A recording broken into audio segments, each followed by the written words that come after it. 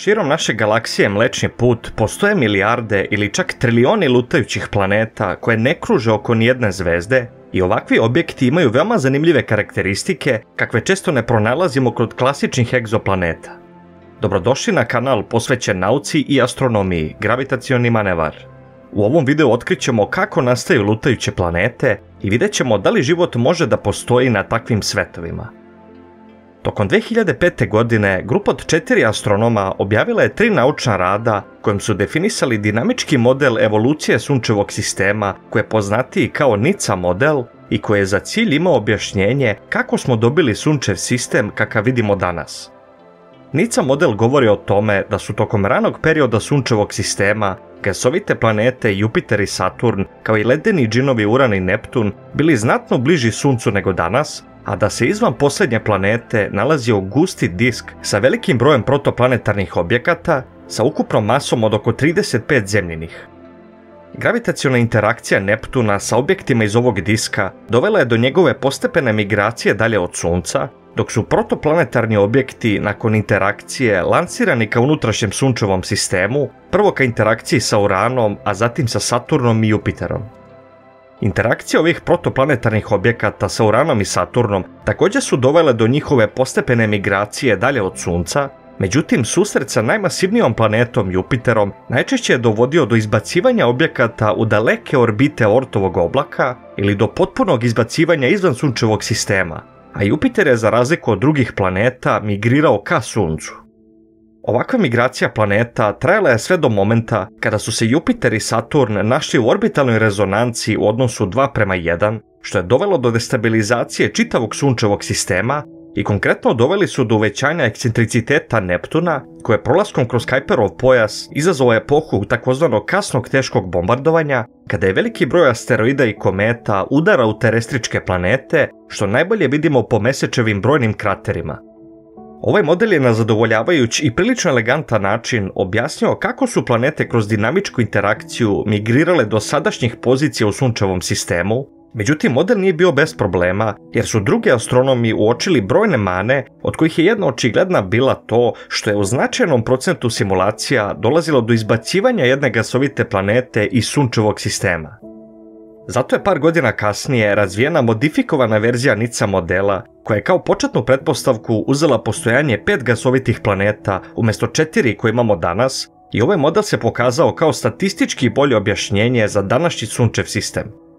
Ova hipotetička planeta je nazvana Had po grčkom božanstvu i simulacije ukazuju da se ona nalazila između orbita Saturna i Urana i da je potpuno izbačena iz sunčevog sistema usred susreta sa Jupiterom ili je makar izbačena izvan Kuiperovog pojasa, što se interesantno uklapa u hipotezu o planeti 9, o kojoj sam ranije napravio video koji preporučujem da pogledate. Ideja o planetama koji su izbačene iz matičnih zvezdanih sistema postoji kao hipoteza već duže od pola veka, a modifikovani NICA model pruža jedno od potencijalnih mehanizama kako može doći do takvog događaja, ali ako je to zaista slučaj, onda možemo zaključiti da je veliki broj zvezdanih sistema sa planetama možda doživeo istu sudbinu i da se širom galaksije nalazi ogroman broj takozvanih slobodnih ili lutajućih planeta. Postoji još jedan predloženi mehanizam nastanka lutajućih planeta, a to je da ovakvi objekti nastanu izvan zvezdanih sistema, sličnim procesom urušavanja gasa i prašine kao kod nebularne hipoteze nastanka zvezda, s tim što bi manje oblaci stvorili objekte planetarne mase ili braon patuljke, koji predstavljaju maglovitu granicu između najvećih planeta i najmanjih zvezda. U svakom slučaju, ovakva tela bi bila prilično tamna, lutajući kroz međuzvezdani prostor i onda se postavlja pitanje kako bi uopšte mogli detektovati da li ovakve planete zaista postoje. Početkom 2000. godina astronomi su posmatrajući Orionovu maglinu, odnosno regiju u sazvežđu Oriona gdje se rađaju nove zvezde, tragali za brom patuljcima putem veoma zanimljive metode, poznatije kao efekat gravitacionog mikrosočiva, i otkrili su nekoliko objekata koji nisu imali dovoljno veliku masu da bi se vršila nuklearna fuzija u njihovom jezgru, a što je ukazivalo da su to lutajuće planete slične mase kao Jupiter. Prolazak masivnog objekta poput lutajuće planete ili Brown patuljka između udaljene zvezde i naše planete dovodi do iskrivljenja svetlosti zvezde i uvećanja njene sjajnosti usred efekta gravitacije na iskrivljenje prostor vremena oko masivnog objekta I ovaj fenomen je najčešće zapažen kod masivnih galaksija u vidu takozvanih Einsteinovih prstenova, ali je isti princip primjenjiv i na manje masivne objekte koji su u našoj galaksiji. Grupa japanskih astronoma je tokom 2011. godine posmatrala 50 miliona zvezda u Mlečnom putu i kroz efekat gravitacionog mikrosočiva otkrili su ukupno 474 detekcije objekata, od kojih je većina objašnjena kao Brown patuljci, ali je 10 detekcija ukazivalo na lutajuće planete slične veličine i mase kao Jupiter, koje su se slobodno kretale kroz svemir bez matičnih zvezda. Na osnovu ove analize izvukli su statističke podatke koji ukazuju da za svaku zvezdu u našoj galaksiji postoje minimalno dve lutajuće planete približne mase kao Jupiter, a što znači da se u našoj galaksiji nalaze stotine milijardi ovakvih objekata, što je prilično fascinantan podatak. Broj je izvesno i veći ukoliko uračunamo lutajuće planete koje su manje masivne od Jupitera i koje su više nalik na terestričke planete kao Zemlja, tako da dolazimo do prilično intrigantnog zaključka da su lutajuće planete možda višestruko brojnije od klasičnih egzoplaneta, mada o ovim podacima i dalje postoji diskusija. Osim metode gravitacionog sočiva za detekciju lutajućih planeta, postoji metoda direktnog fotografisanja unutar maglina, jer ovakvi objekti nedugo nakon formiranja imaju dovoljno visoku temperaturu i emituju infracrveno zračenje da ih možemo detektovati direktnim posmatranjem putem teleskopa. Lutajuće planete koje se detektuju ovim načinom najčešće su mlađe od 200 miliona godina, a što znamo na osnovu starosti drugih mladih zvezda unutar maglina gde uočavamo ove objekte, a njihova masa je u proseku pet puta veća od Jupiterove, što je ispod granice od 13 do 80 Jupiterovih masa da bi se klasifikovali kao Brown patuljci i zato ih smatramo lutajućim gasovitim planetama. Naučnici smatraju da većina ovakvih masivnih planeta nastaje na sličan način kao i zvezde, tačnije urušavanjem gasa i prašine u maglinama, s tim što ovakvi objekti nemaju dovoljnu masu da postanu zvezde, ali kao što oko većine zvezda postoji akrecioni disk iz kojeg nastaju planete, tako postoji hipoteza da oko masivnih lutajućih planeta možda postoje brojni meseci čim imamo minijaturnu verziju planetarnog sistema. Gledajući unutar našeg sunčevog sistema, smatra se da su sateliti oko gasovitih džinova nastali iz akrecionog diska oko ovih planeta tokom formiranja sunčevog sistema i zato je izvesno da se oko masivnih lutajućih planeta možda nalaze čitavi sistemi objekata koji umjesto oko zvezde kruže oko planete sa kojom zajedno krstare kroz mrači svemir.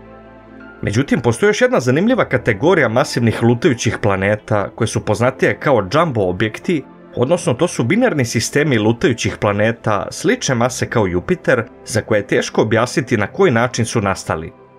Pošto jumbo planete u proseku kruže jedna oko druge na udaljenosti koja se meri stotinama astronomskih jedinica, teško je objasniti njihov nastanak urušavanjem gasa i prašine kao prilikom nastanka zvezda, jer iako su binarni zvezdani sistemi najčešći oblik zvezda u našoj galaksiji i širom vasione, one su najčešće udaljene jedna od druge svetlosnim godinama, a jumbo objekti su višestruko bliži jedan drugom.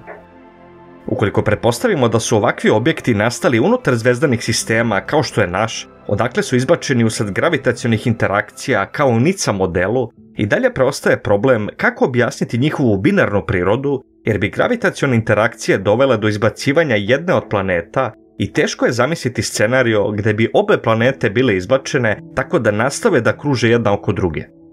Svemirski teleskop James Webb ima neophodne instrumente poput kamere NIRCam pomoću koje bi u narednom periodu mogli da odgovorimo na ovu nedoumicu i to tako što bi izmjerili brzinu kretanja jumbo objekata kroz svemir i ukoliko imaju sličnu brzinu kao druge zvezde, to onda ukazuje da su nastali na sličan način, a ukoliko imaju veću brzinu od očekivane, to bi ukazalo da su nastali u zvezdanim sistemima odakle su izbačeni. Ako se vratimo na NICA model evolucije sunčevog sistema, vidjet ćemo da su gravitacione interakcije između planeta dovele do toga da je gotovo 99% mase iz originalnog akrećenog diska oko sunca izbačeno izvan sunčevog sistema i konkretno od procjenjenih 100 terestričkih protoplaneta, nakon brojnih sudara i spajanja u veće objekte, danas imamo samo 4 terestričke planete. To ukazuje da je moguće da iz našeg kao iz drugih zvezdanih sistema možda izbačen veći broj planeta slične veličine kao Mars ili Zemlja i da se širom galaksije nalaze stotine milijardi, ako ne čak i trilioni ovakvih planeta, što je prilično fascinantna pomisao. Pritom, ovakve stanovite planete bi prema simulacijama u 5% slučajeva sačuvale prirodne satelite prilikom izbacivanja iz zvezdanog sistema zbog relativno male mase, i ukoliko bi Zemlju zadesila takva sudbina, verovatno je da bi Mesec bio izbačen zajedno sa nama i da bi nastavio da kruži kao da se ništa neobično nije dogodilo. Ovaj ključni detalj očuvanja prirodnih satelita nakon izbacivanja vrlo je važan s aspekta nastanjivosti ovakvih planeta, jer iako možda deluje nemoguće na prvi pogled, stenovite lutajuće planete mogle bi biti nastanjive milijardama godina i život bi mogao da nastane i da se održi na njima iako nemaju matičnu zvezdu. Svi znamo da je sunce izvor života na zemlji, ali s druge strane, sunce može da ima i negativan efekat na nastanjivost, u šta možemo da se uverimo ukoliko detaljnije pogledamo Veneru i Mars. Venera danas ima izuzetno gustu atmosferu koja je produkt efekta staklene bašte tokom više stotina miliona godina, dok je sunče vetar oduvao Marsovu atmosferu usled ranog gubitka magnetnog polja i danas imamo dve potencijalno mrtve planete, iako se nalaze unutar sunčeve nastanjive zone kao i Zemlja.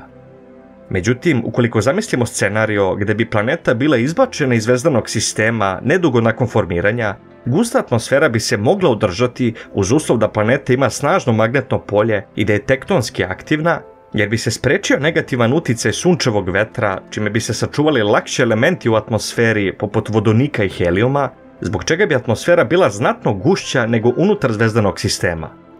Toplota u unutrašnjosti ovakve planete, koja potiče od samog procesa njenog formiranja, bila bi dovoljna da se spreči potpuno urušavanje i zamrzavanje atmosfere, a što bi dodatno omogućilo dugoročno održanje tečne vode na površini, međutim i u slučaju da je atmosfera izgubljena, tečna voda bi se mogla održati u dubini planete.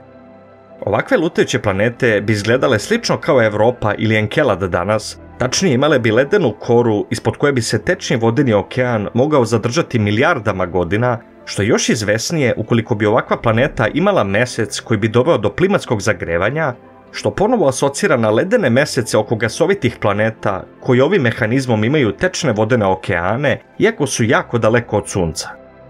Većina naučnika danas smatra da je život na Zemlji nastao oko hidrotermalnih izvora na dnu okeana, i ako je to zaista slučaj, onda život bez problema može nastati i u sličnim sredinama na lutajućim planetama i sasvim je moguće da ima više života među zvezdama nego u zvezdanim sistemima, a što je fascinantna pomisao.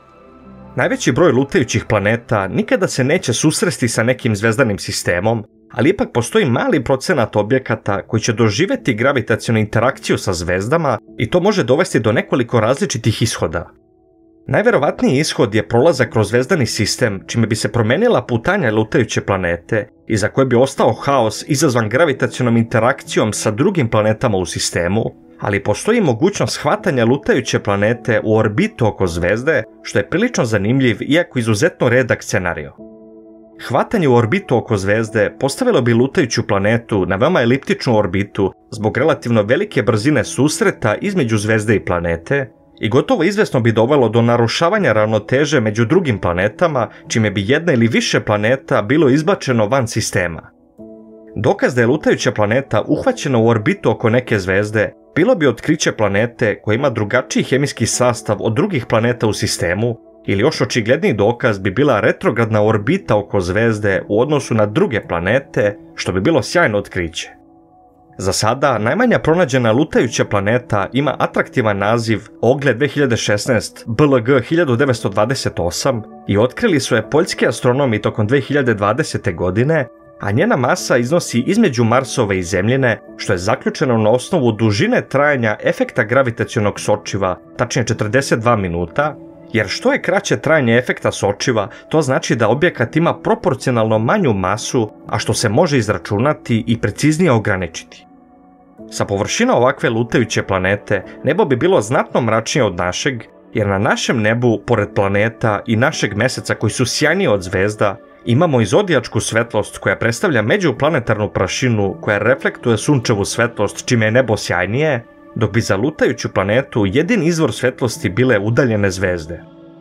Ukoliko postoje inteligentna bića na nekoj od ovih planeta, nikada ne bi vidjeli spektakl kakav je prolet velike komete i nikada ne bi doživjeli potpuno pomračenje zvezde kao što mi imamo sreće da vidimo na Zemlji, ali bi zato imali spektakularan pogled na mlečni put, naročito ukoliko se nalaze iznad ili ispod diska gde kruži većina zvezda. Kada otpočnu sa radom nove observatorije poput Vere Rubin, koje će svakog dana posmatrati čitavo južno nebo, siguran sam da ćemo detektovati mnogo više lutajućih planeta kroz efekat gravitacionog sočiva, a svemirski teleskopi poput James Weba omogućit će nam da direktno fotografišemo ove svemirske nomade koji kao usamljeni brodovi u noći tiho krstare među zvezdanim prostorom. Hvala vam što ste gledali ovaj video i nadam se da ste uživali. Ukoliko želite da podržite kanal, postanite član i kliknite na dugme hvala ispod videa za jednokratnu donaciju, a svakako ostavite like i prijavite se na kanal kako ne biste propustili sljedeći video. Veliki pozdrav i vidimo se u sljedećem videu.